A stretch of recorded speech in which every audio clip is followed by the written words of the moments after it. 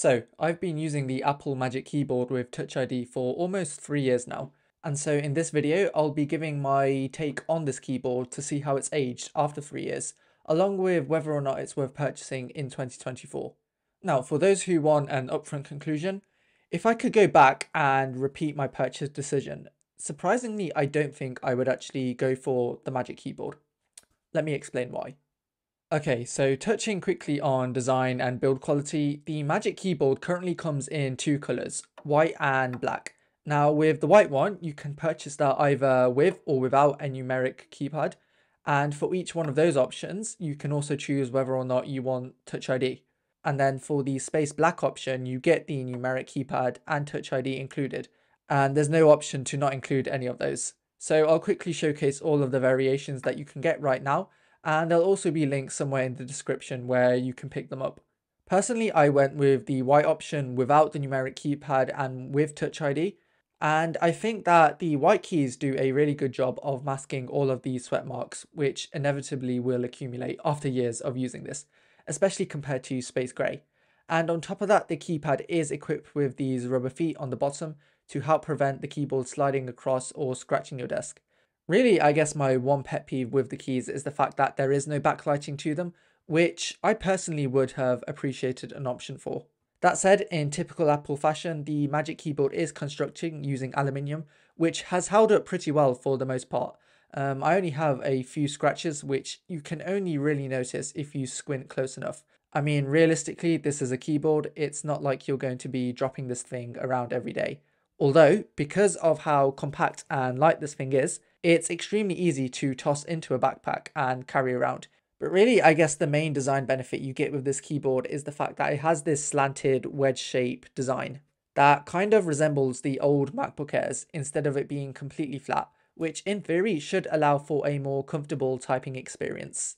And so let's talk about the typing experience because realistically, this is probably what you are going to care the most about in a keyboard. You know, it doesn't really matter if the design is nice and there's an Apple logo on the bottom if the typing experience sucks.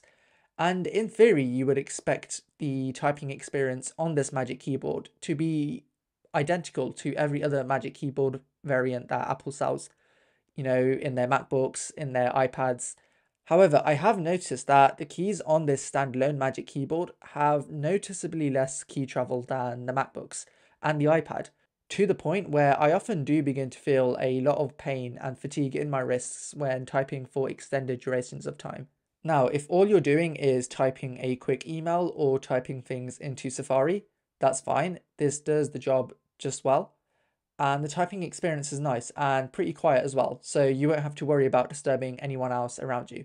However, the moment you begin to dabble into more extended writing, like writing an essay in Apple Pages or taking lecture notes using Notion, after about five minutes, my fingers usually do begin to quickly fatigue, and I often have to open up the lid of my MacBook just so I can continue typing.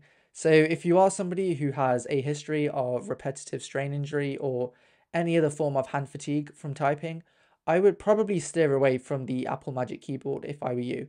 Really, the only positive thing that I can say about the typing experience is the fact that there isn't any lag or Bluetooth issues when typing, but realistically, that shouldn't come as a surprise at this price point. And so, based on this, you might question why a rational consumer would ever go out and buy the Magic Keyboard when the typing experience, at least in my non expert opinion, isn't that great. And I think the main reason is for this Touch ID button that you get here at the top. Now, you do have to pay an additional $50 premium to get the keyboard with Touch ID, but once you have it, it essentially enables you to do things like unlock your Mac or automatically fill in passwords or use Apple Pay directly from your keyboard without having to access your MacBook's built-in Touch ID sensor.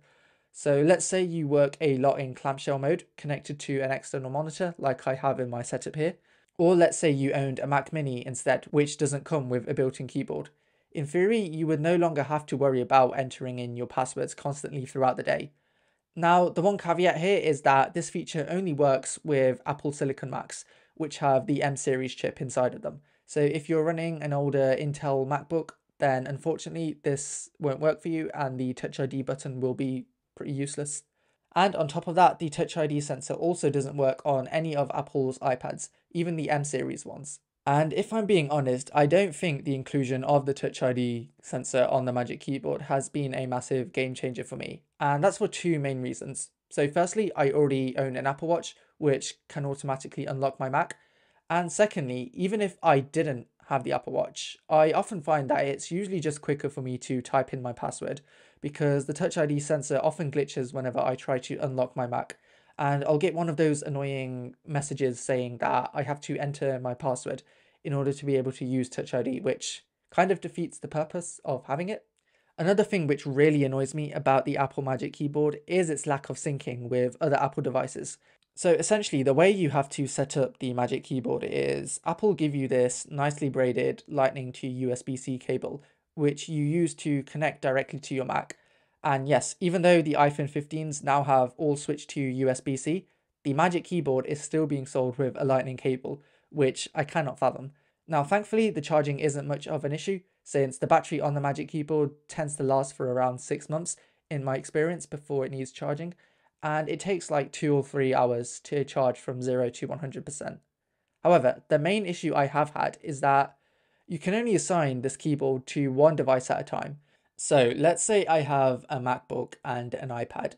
I can only connect the Apple Magic Keyboard to either the MacBook or the iPad but not both at the same time. And so if the keyboard was connected to my iPad and then I wanted to quickly connect it to my Mac, I would have to first go into the settings app of my iPad and then manually disconnect it there through Bluetooth and forget the device and then head into the system settings on my Mac and go into Bluetooth there and then pair the Magic Keyboard manually again. And then if I want to switch back to the iPad, I have to repeat the same process but in reverse order. And it's like from the company that is supposed to be the masters of ecosystem integration and seamless handovers, it's honestly quite surprising that the Magic Keyboard can't do this, especially when there are other keyboards like the Logitech MX keys that can quickly pair with multiple devices at cheaper price points. So, to answer the original question, is this Magic Keyboard worth purchasing? And I'd say no, it's probably not. Even if you are ridiculously rich and you have a ton of money to splurge, I still wouldn't recommend buying the Magic Keyboard.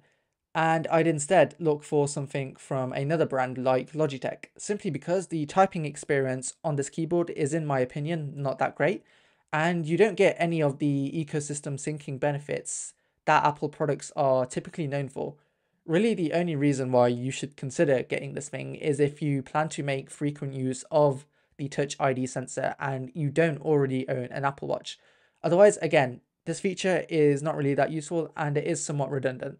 But hey, this is all just one guy's opinion, and if you agree or disagree with my take, then let me know in the comments down below because I'd love to hear from you. And as always, if you found this video helpful, consider leaving a like to support the channel. And over the next week, I'll also be doing a review of the Apple Magic Mouse. So if you'd like to be the first to see that review when it comes out, then hit the subscribe button and I'll see you guys in the next one.